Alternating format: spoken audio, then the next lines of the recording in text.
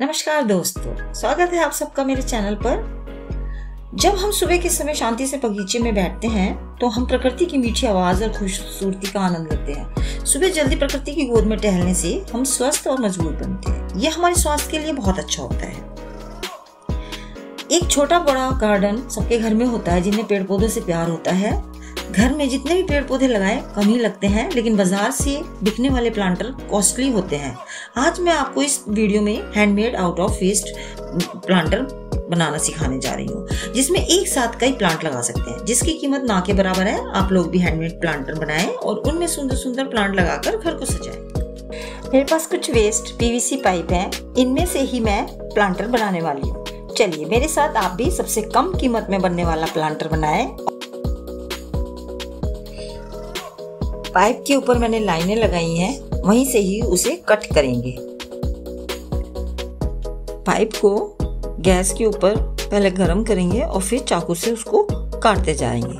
यही एक मेथड है, या फिर आप हार्डवेयर की शॉप पे भी कटवा के ला सकते हैं। दोनों तरफ़ से थ्री इंचेस की जगह छोड़ी है।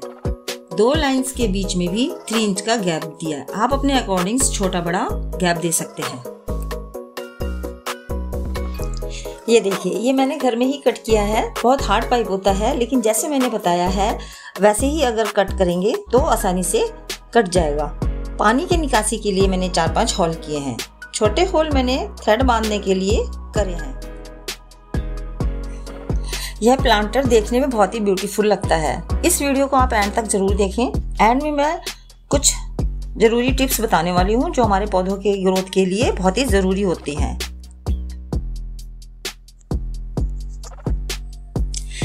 अब मैं इस प्लांटर पर red and white Asian animal paint से डेकोरेट करूँगी। अगर आप चाहें तो इसे सिंपल भी रहने दे सकते हैं। डेकोरेट करने से प्लांटर ब्यूटीफुल दिखता है।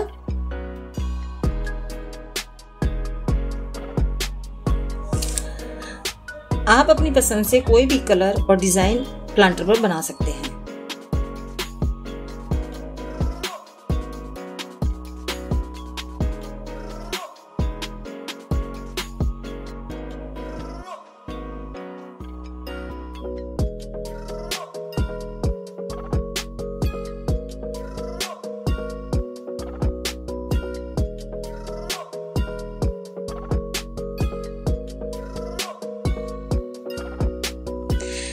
यहाँ मैंने थर्माकोल को लगाया है क्योंकि यह वाटर प्रूफ होता है।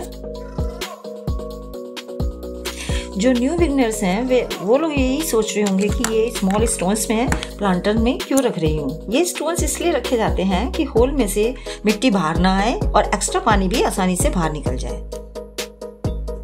प्लांट्स लगाने से पहले हर प्लांटर में होल करना ज़रूरी है, नहीं तो पानी ज़्यादा रहने से प्लांट्स गल जाएँगे और पौधा हमारा मर जाएगा।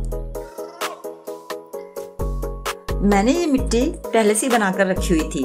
अब इसमें कुछ मिट्टी डालेंगे प्लांट्स लगाएँगे और ऊपर से फिर थोड़ी मिट्टी डालेंगे।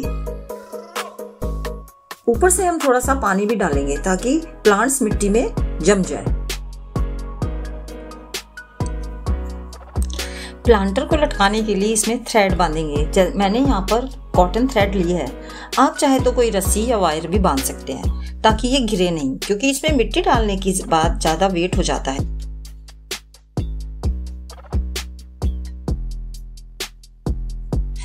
इस वीडियो को एंड तक ज़रूर देखें, ताकि ये पता चले कि हमने इतने मेहनत से जो प्लांटर बनाया है, वो गार्डन में लगाने के बाद कैसा लगता है।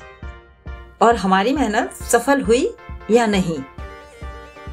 वैसे तो प्लांटर बाज़ार में बहुत मिलते हैं, लेकिन डीआईवाई प्लांटर की तो बात ही कुछ अलग ही है, क्योंकि उसमें हमारी मेहनत होती है। मुझे प्लांटर बनाना सबसे ज़्यादा पसंद है।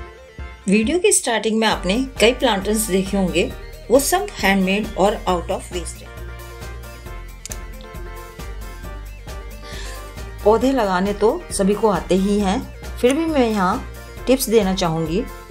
इंसेक्ट्स हमारे प्लांट्स के ग्रोथ के लिए बहुत ज़रूरी हैं। और सेकंड फर्टिलाइज़र हम पौधा लगाने के बाद ऊपर से डालते हैं। वही फर्टिलाइज़र अगर हम मिट्टी में पहले से ही मिलाकर डालें तो हमें बार बार ऊपर से फर्टिलाइज़र डालना ही नहीं पड़ेगा। मैंने मिट्टी में पहले से ही फर्टिलाइज़र मिलाकर डाला हुआ है। आप लोगों को मेरी वीडियो कैसी लगी? कमेंट्स बॉक्स में ज़रूर लिख कर बताएँ। वीडियो को शेयर और सब्सक्राइब करना ना भूलें। देखिए कितना प्यारा प्लांटर बनकर तैयार हुआ है। आप भी ऐसे ही प्यारे प्लांटर्स बनाइए और उसमें प्लांट्स लगाकर घर को सजाइए। Thanks for watching